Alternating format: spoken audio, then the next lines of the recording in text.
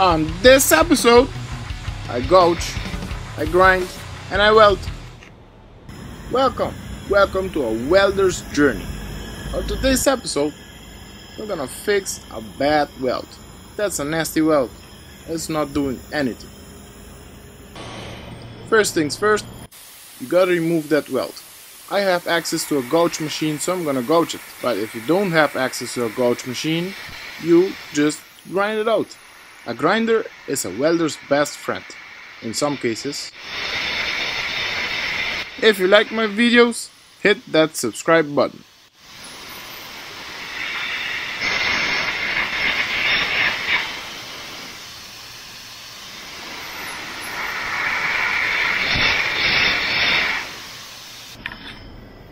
I removed everything.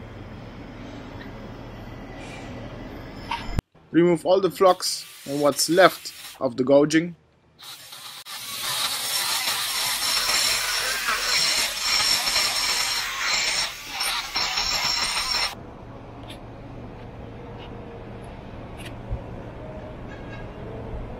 Then I'm gonna start by using a 7018 rod, 1 8 thickness, at about 100 to 110 amps. That's gonna be the first of many passes.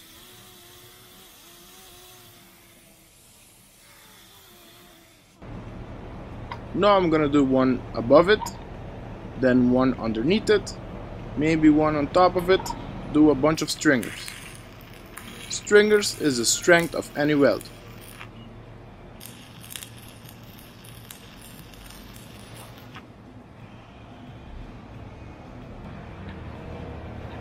There's three stringers already.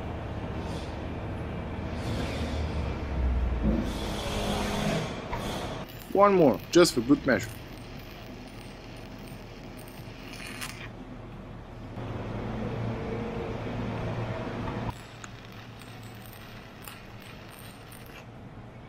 When you're done with the stringers, turn up the machine just a hair and cap it with a weave.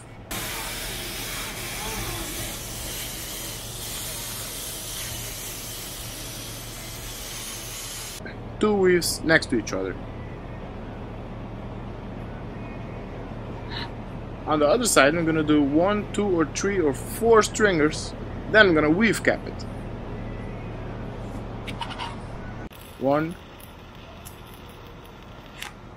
two, three, and a cap.